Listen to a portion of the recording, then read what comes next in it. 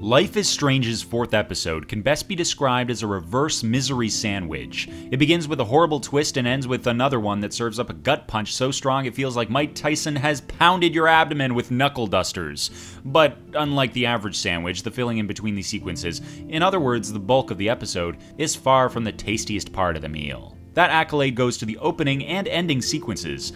If you've been reading our reviews of the other episodes, you'll know by now that it's incredibly hard to discuss Life is Strange without spoiling the many plot twists and consequences your choices can have on the narrative. Episode 4 is where they all start coming together. Choices you made throughout all three episodes have a distinct effect on how this episode plays out from start to finish, and it's now apparent that the game you're playing will likely be very different from the one someone else is experiencing. Developer Dontnod Entertainment continues to show BioWare just how a true choice system should be done, and chances are there will be at least one seemingly wise decision that you made in a previous episode, reassured at the time by the knowledge that it was the best or right thing to do, that will leave you with a sinking feeling and a basket full of, oh, what if I'd done that differently? You're gonna feel that a few times throughout episode 4. The episode starts with Max facing the consequences of her time rewinding shenanigans, forcing her to realize that playing with time and rewinding it to try and do the right thing can actually make things much, much worse. After all, how could going back in time and saving somebody you know from dying in a car crash have a bad outcome, right? No devastated wife, no emotionally stunted daughter, no funeral. Everyone's a winner.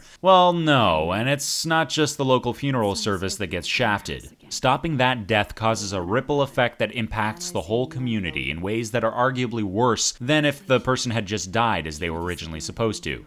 Sadly, the impact is soon lost as the game decides to play it safe and effectively abort that entire timeline. But what we saw there has a lasting effect on Max, so much so that for most of the episode, you're not allowed to use the time rewinding powers you've grown to rely on.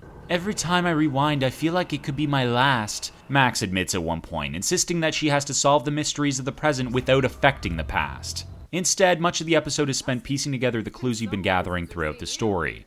At one point, you have everything you found out written up and pinned to a board in front of you, and you are tasked with making connections between the various clues so that you can trace what's been happening and when. It's a fun piece of detective work, and while some of the clues aren't exactly obvious, Max drops enough hints when you make wrong connections that it shouldn't take anyone too long to figure out what goes where. Just don't try playing that section when you're really tired. We are only one chapter away from the story's ultimate conclusion, but after episode 4's ending, we're not sure we want to play it. There are many things we fear in this life old age, mental decline, Moomins. But if you were to ask us between now and its release what our current biggest fear is, we'd probably reply with Life is Strange, Episode 5.